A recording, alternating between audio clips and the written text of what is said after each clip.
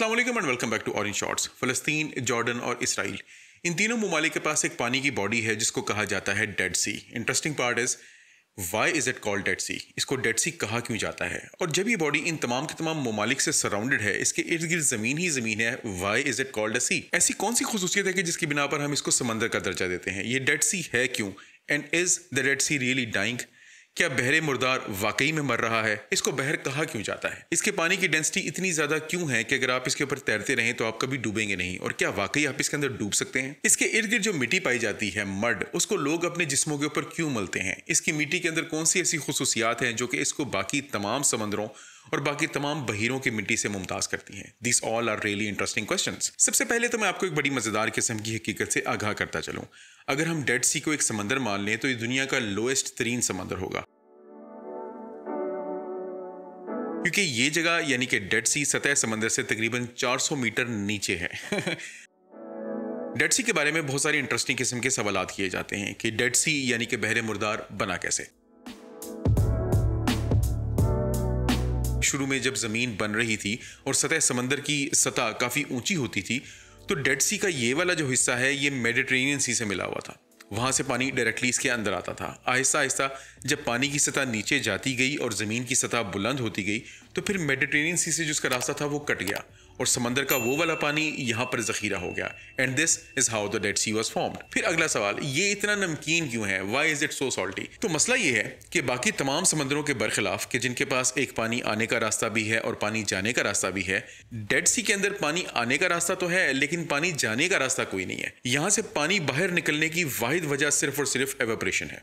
अब चूँकि ये मिडिल ईस्ट में वाक़ है, वहाँ पे जहाँ पे गर्मी ठीक ठाक होती है तो मिडिल ईस्ट में वाक़ होने की वजह से यहाँ पे पानी की एवोपरेशन ठीक ठाक होती है। अब जब पानी उड़ता है तो डेफिनेटली सिर्फ़ और सिर्फ़ एच टू ओ यानी कि वाटर के मॉलिक्यूल्स उड़ते हैं, बाकी हैवी एलिमेंट्स तो सारे के सारे नीचे रह जाते हैं। सारे के सारे नमकियात chlorides everything that stage behind और सिर्फ़ और सिर्फ़ पानी एवोपरेट करता है।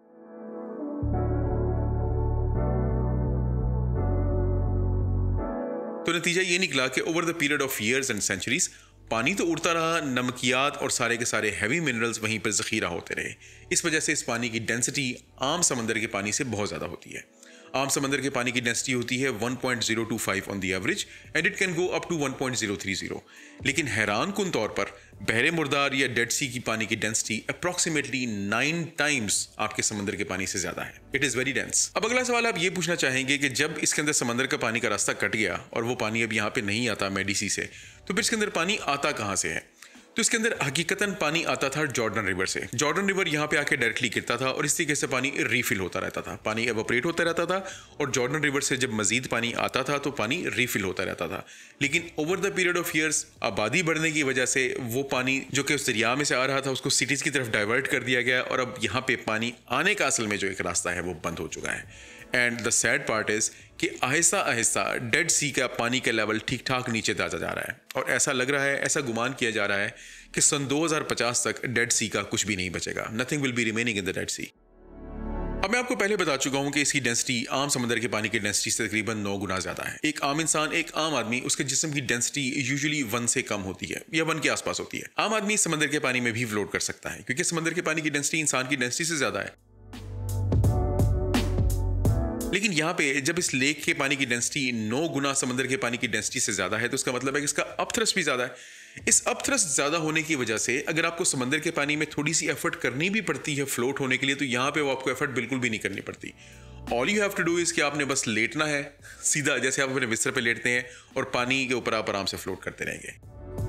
So yes you can very easily float over here आप इसके ऊपर बिल्कुल आराम से तैर सकते हैं। और अगर आपने तैराकी नहीं सीखी हुई तो शायद आप यहाँ जाएँ तो तैराकी सीख भी लें आराम से। लेकिन इसके साथ साथ एक मिसकनसेप्शन जन्म लेती है। और मिसकनसेप्शन ये है कि लोग ये समझते हैं कि डेड सी के अंदर कोई भी कभी भी नहीं डूब सकता।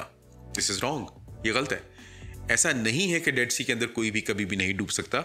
अगर आप सीधे खड़े होने की कोशिश करेंगे तो आई कैन प्रॉमिस यू कि आप डूब जाएँगे, क्योंकि जब आप सीधे खड़े होंगे तो आपकी डेंसिटी बदल जाएगी, आपकी सारा का सारा वेट आपके टांगों के ऊपर बेसिकली डेंसिटी तो नहीं बदलेगी, लेकिन आपके उस शेप चेंज होने की वजह से जो आपका सारा का सारा वेट है, जब टांगों की तरफ़ आएगा तो आप मिनटों में डूब जाएँगे। तो आपने खड़े होने की कोशिश नहीं करनी, आप लेटे रहेंगे तो यू विल बी सेफ़ सयाह यानी कि टूरिस्ट बेसिकली तो डेड सी को इसलिए देखने आते हैं कि it is called Dead Sea जबकि हर तरफ़ ज़मीन है। फिर इसके वाटर की सैलिनिटी ज़्यादा है, सब यहाँ पे तैरने के लिए आते हैं। लेकिन फिर एक और चीज़ है जो कि लोगों को बहुत अट्रैक्ट करती है, और वो है यहाँ की मिट्टी।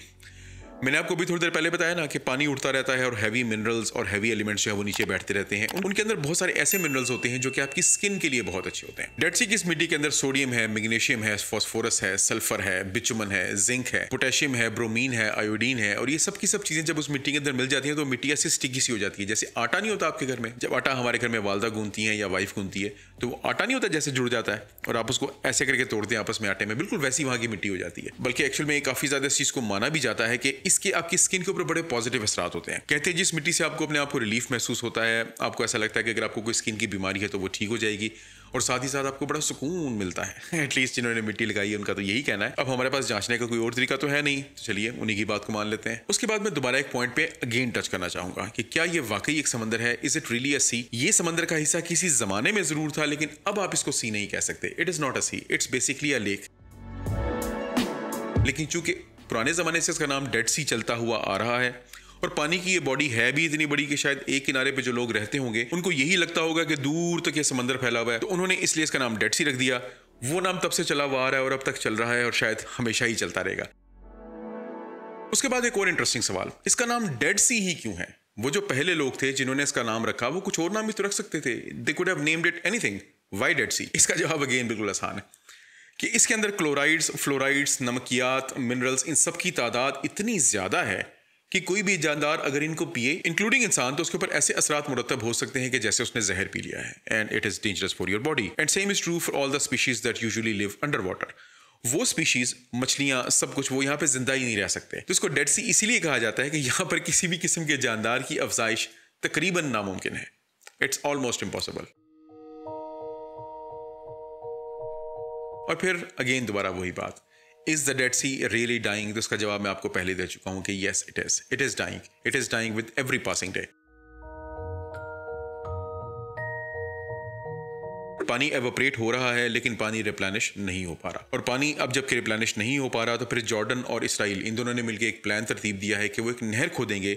इस नहर का नाम रखा गया है पीस कैनाल और बजाय ये नहर मेडी की तरफ़ से आने के, अब ये नहर जो है वो रेड सी की तरफ़ से आएगी। और रेड सी से एक नहर खोद के उसको यहाँ ला के डेड सी के अंदर डाला जाएगा, ताकि इसके अंदर पानी कम अज़ कम आए तो सही और ये ज़िंदा रहे। लेकिन अभी तक ऐसा ही लग रहा है कि अगर कुछ इकदाम ना किए गए तो एक दिन ऐसा आएगा कि ज़मीन के ऊपर कुछ और छोटी छोटी वाटर बॉडीज की तरह डेड सी भी शायद ना रहे। And there will be one more thing that will be losing बहरहाल, मुझे उम्मीद है कि आपको आज की वीडियो ना सिर्फ़ पसंद आई होगी, बल्कि अच्छी भी लगी होगी।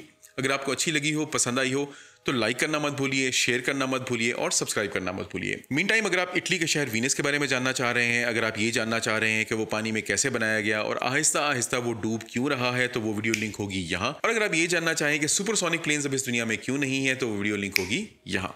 अगली वीडियो तक अपना ढेर सारा ख्याल रखिएगा, दुआओं में याद रखिएगा। With tons of love to my Orange Shorts family and to be Orange Shorts family, this is me, Zahid Nisar आप लोग देख रहे हैं Orange Shorts और अगली वीडियो तक। अल्लाह हाफिज़।